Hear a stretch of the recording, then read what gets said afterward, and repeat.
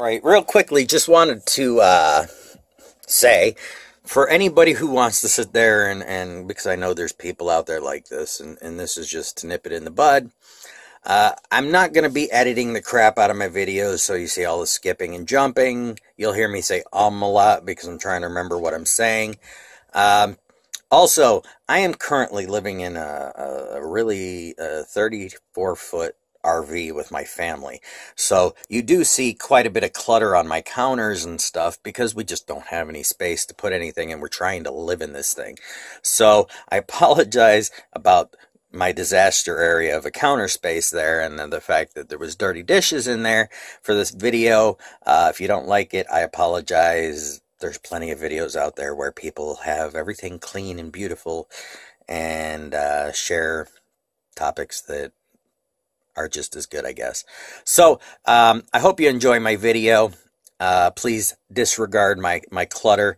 Like I said, I am living in a, a 34 foot RV with my family, and there's just really no room to put anything, so there is quite a bit of clutter around. Uh, if you can get past that, hope you enjoy the information. Here it comes. Morning, everyone. Uh, today we're going to talk about Ormus, um, which is a high spin state of monoatomic elements. Oops, put my hand over the camera. All right, so I'm going to switch over to the other camera here, and I'm going to show you how I make my Ormus. Um, started off following a recipe on the internet uh, for the wet method. I've been doing this for about two months now. Found a few things out, like to share it with you guys for the easiest way I know to make Ormus. So, let me switch over to the other camera here. Uh, so, this is generally the wet method you make it. You take a box of the, you know, baking soda, you put this in the oven for a few hours, and it comes out as washing soda. Uh, loses some of its weight, uh, winds up at about 11, hold on, I can tell you in one second. Uh, 10.2 ounces is what it winds up at out of 16 ounces. So it loses some of its weight, mass in the process, but it turns it into washing soda. Now, washing soda is this big old box right here, and this is actually cheaper to buy. So I took 11 or 10.2 uh, ounces of that and used that instead. Now, both times that I made it, whether it was with starting with the baking soda and converting it into washing soda, which this is sodium bicarbonate, this is sodium carbonate. That's the only difference is it re removes the bi part um, in the heat process, which, like I said, makes it lose some of its weight. but when I mixed it in with water, you're supposed to, I believe, mix it in with 32 ounces of water, and uh, it basically turns into complete liquid when you first do it, but after you let it settle for a while, you wind up with this, which is kind of a large chunk of crystal of uh, sodium bicar or sodium carbonate that is separated from the, the acid solution in the you know the water acid solution. It doesn't matter if I use baking soda to start or if I use washing soda to start. After a few days, I've gotten this lump. Now, you don't have to redissolve this lump back into it. You can grind it up and remelt it or whatever you want into a new one. But this is still your same acid solution. In fact, the first time I made it, before this sediment had actually, you know, set itself down there, I had put this in with the, the, the salt water mixture and it converted arms just fine and washed out just fine, but I wound up with about third of the amount of Ormus I do now when I use just the liquid after letting it settle out all the way and form that layer on the bottom. I don't know why, um, but once it settles, I actually got more Ormus. So I'm going to show you the process that I use to make the Ormus. It's relatively simple, especially once you get to this point. So give me a second, let me set that up, and I will show you that. Alright, so here we go. We got my concentrate solution. As you can see, the crystal you know, sludge is still sitting in the bottom. Uh, it basically made a big block. I'm not sure if I got to break that out of there to get to it or what. Um, but here we have two 24-ounce bottles of water one's bigger because I'm going to mix that one into that one. But basically, you take it and you're going to add 120 mil, or yeah, 120 milliliters of this. Hopefully, you have something that has milliliters on it. If you don't, it's you know just go out and go get yourself a cheap dollar store, um, you know, measuring cup that has milliliters on it, and then you're going to mix this into the shorter one, just like that. And then you're going to make sure you give that a good stir. Well, my case, it's going to be a quick shake. All right, just to make sure that's all settled up. Then we're going to add three tablespoons of salt for this. I got to put my phone down, so I'm going to pause it, and then I'll, I'll put it in there and show you. And I'll be right back. All right, so this is the Dead Sea salt that I use. Um, there's different brands out there. This one seems to work good for me. But basically what I'm going to do is I'm going to add three tablespoons of that, and it's just, you know, a regular tablespoon, uh, not a measuring tablespoon, and this isn't an exact thing. It, it, as long as your mix is close, it works great. Um, I'm going to add that to this large jar over here, so let's get that going there. And you just take, you know, three nice size scoops and put it in there. And then we're going to just close this back up.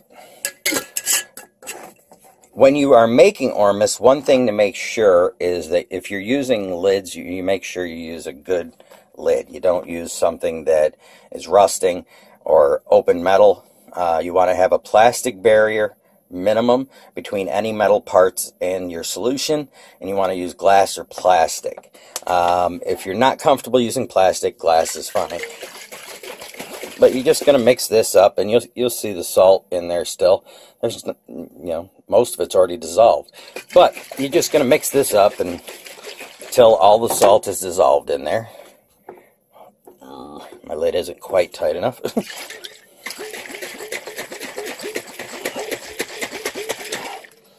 and it is literally that quick.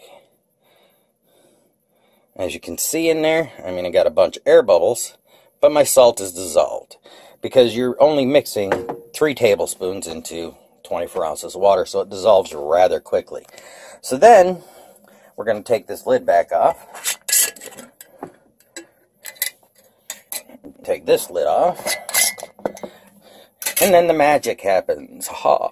Now, I've had one person tell me, well, that's not a high enough acid solution to do that if all your stuff's falling out. But watch, it definitely is because there's my Ormus being created. The Ormus is the white powder. It's actually a mix of Ormus and uh, magnesium. Uh, magnesium, I don't remember. It's milk magnesia, basically. Um, it's not going to hurt you. If you drink a large quantity of milk magnesia, it will give you diarrhea. So don't recommend doing that. But then you're just going to let this settle. It's going to literally settle to a layer where at the top will be just, looks just like water. It's actually your salt solution. Uh, it pulls the sodium out of it, and it leaves behind the ormus and uh, the magnesium. And you're going to sit there and let this set settle down. It's going to settle down to about here. I seem to get about a cup doing it this way. The first time I did it, I only got maybe a third of a cup, if that. Um, like I said, the first time I did it, I didn't let the acid solution settle. And when it settled, I actually, like I showed you, had a, a chunk at the bottom. And this seems to actually produce more ormus and uses less product, I guess. But you're going to let that settle, and once it settles, you're going to filter off the top by using a siphon tube, sticking it down just above the, you know, where the line forms, and strain off the water, mix in some more, you know, clean water, which you use distilled water for all this. Uh, do not use sink water because you'll be pulling other impurities into it. Always use distilled water. But then once it gets down, you siphon it off, mix in some distilled water, shake it up again, and let it settle again. Now, the first time I did this, before I let the, you know, the baking soda or washing soda, whatever you want to call it, settle, it took almost three days for this to settle down to the to the separation. since I've decided to let it settle for a couple days before I use it, it does it almost overnight. So this will create about a cup of Ormus material, um, which you can use a teaspoon to a tablespoon at a time, depending on how your body reacts to it. Like I said, it does have milk of magnesia in it, so I would take it slow steps. Otherwise, if you give yourself, you know, the trots, it's kind of your own fault because it does have milk of magnesia in it. It's about 40% milk of magnesia from what I understand. So, just by taking those, you know, quick little steps there, you can get this down to about a, you know, cup, cup and a half of Ormus material. You take a teaspoon of that a day. And what it does is it's going to, uh, hold on, let me switch my camera back here. What it winds up doing is it creates an Ormus uh, material. It's like a, a white kind of a gel that forms at the bottom of it. It's supposed to be about 60% M state material. The other 40% is about 40% anyway, of milk of magnesia. It has, uh, I've been taking it for about two months. Um, major things I've noticed. I'm able to concentrate on things a lot easier. I'm not uh, such a spaz when it comes to uh, thinking about things. I used to, you know, sit there and be on a cop topic, and all of a sudden my mind's off racing on other things. Um, ADD, whatever people want to call it. Uh, I've had it since I was a child. I just, my mind's always all over the place trying to figure out and understand everything at the same time, and it gets a little bit annoying. but one thing Ormus has done for me is it helps my mind settle down a little bit so that I'm able to concentrate on what I'm doing, working on, whatever, and uh, not be so flighty. Um, another thing I've noticed is I used to have these really, really horrible dark bags under my eyes. Uh, you can still see a little bit of them.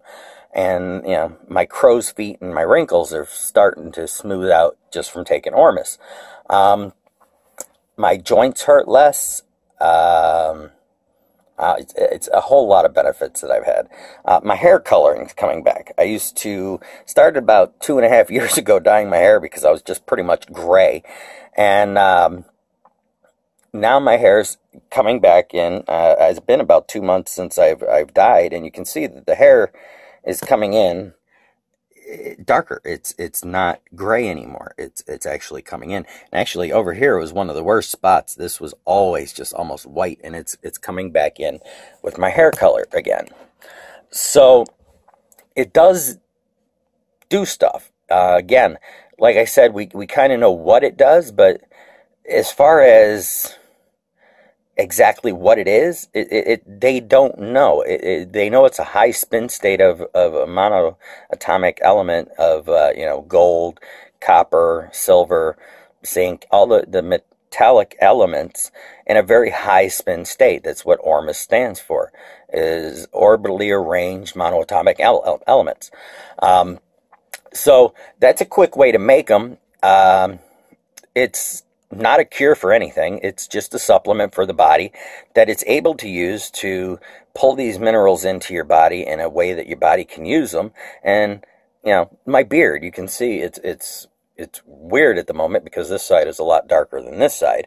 But it, my color, this was all gray and it's starting to come back. So if nothing else, just so I don't have to dye my hair because I guess I'm vain. It, it, it's a benefit that way. But I sleep better. I have more vivid dreams. I the wrinkles have you know lessened. I am forty, gonna be forty-seven years old this year, and I was you know I guess vain because in my opinion. Um, my grandparents and my parents and that didn't get gray this early, and and you know it's part of it's because of all the you know chemicals and shit in our diet and that are being dumped on us and everything else. And this is just another way to benefit your body to help it deal with those situations. So, hope you like it. Um, please comment and subscribe, and we'll see you next time.